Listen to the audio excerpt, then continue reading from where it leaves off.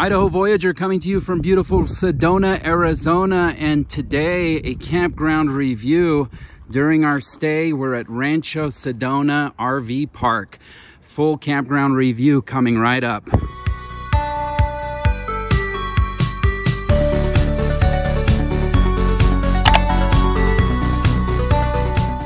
Absolutely gorgeous setting here at Rancho Sedona RV Park.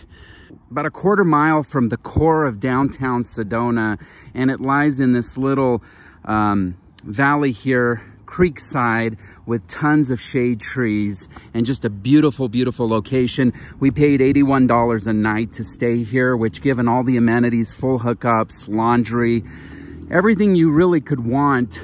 Excellent Wi-Fi, cell phone connection, just really, really nice. So this RV park has got tons of shade, really big mature trees. You can see that's where we're uh, located. That's our site. And then these sites right here where I'm standing all back up to the creek, which these are definitely premium, most desirable sites and are actually uh, hard to get. This is section C and B of the park, so um, not near the creek, but a short walk and still very nice. Lots of shade trees. And you've also got the laundry room facility here uh, with restrooms. Very nice laundry room, countertop. Um, very well maintained. Overall, we love Rancho Sedona RV Park. Just a beautiful location, as I mentioned, very close to town, all the great amenities, excellent Wi-Fi, excellent cell phone service, everything about it really, really nice, impeccably maintained grounds. Everyone is very friendly.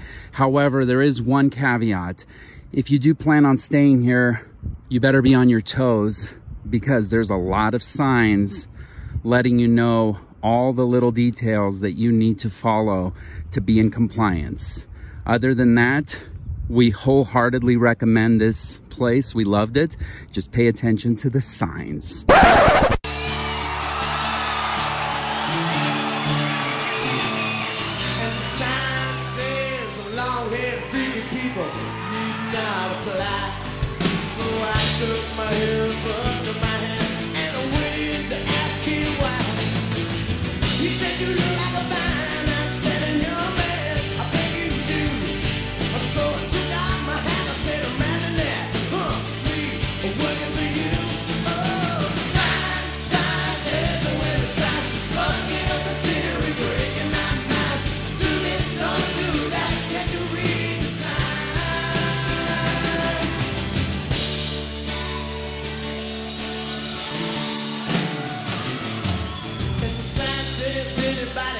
trespassing, a ruby shot on sight. So I jumped the fence and I yelled at the house, hey, what gives you the right?